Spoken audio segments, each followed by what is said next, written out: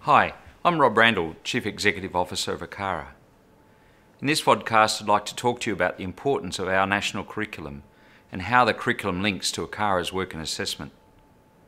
It's a challenging task deciding what every young person should learn as they progress through schooling. ACARA's role is to set national expectations for what's to be taught to students in Australian schools. To do this, ACARA has a rigorous national approach to curriculum development and draws on the best national talent and expertise that's available in each subject area.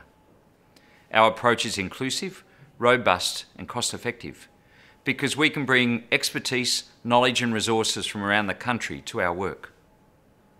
Thousands of teachers, academics, and members of the community have actively and productively participated in the curriculum development process in various ways via face to face meetings, emails, or social media.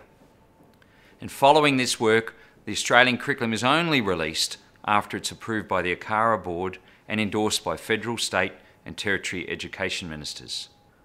An Australian curriculum means that no matter where students live, they now have access to the same curriculum content, and their achievements will be judged against the same achievement standards.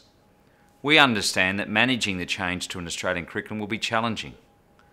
While delivery of the Australian curriculum is the responsibility of states, territories, and their schools and teachers, ACARA will continue to work with its partners as the curriculum is being implemented in schools.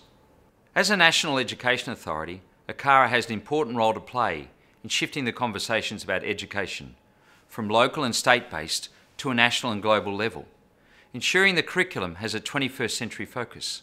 We do this by working collaboratively with our partners in each state and territory with the common focus being to improve learning outcomes for all students for the good of Australia.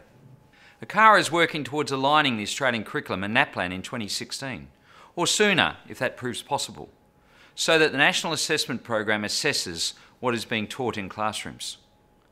This means that the best way to prepare for NAPLAN tests will be to teach the national curriculum, which pays attention to the development of literacy and numeracy skills in English and mathematics and across other learning areas and subjects. If you'd like to read the Australian curriculum or find out what we're doing with NAPLAN, I invite you to take a look at the ACARA website.